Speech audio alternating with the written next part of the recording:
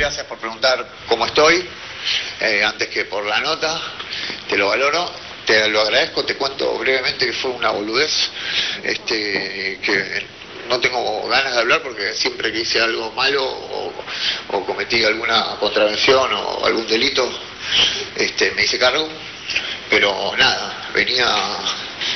eh, venía por una calle oscura y este y había un auto, toquecito salido del lugar, calculé mal y le pegué a 20 kilómetros por hora, le rompí la óptica y el guardabarro. En el caso de,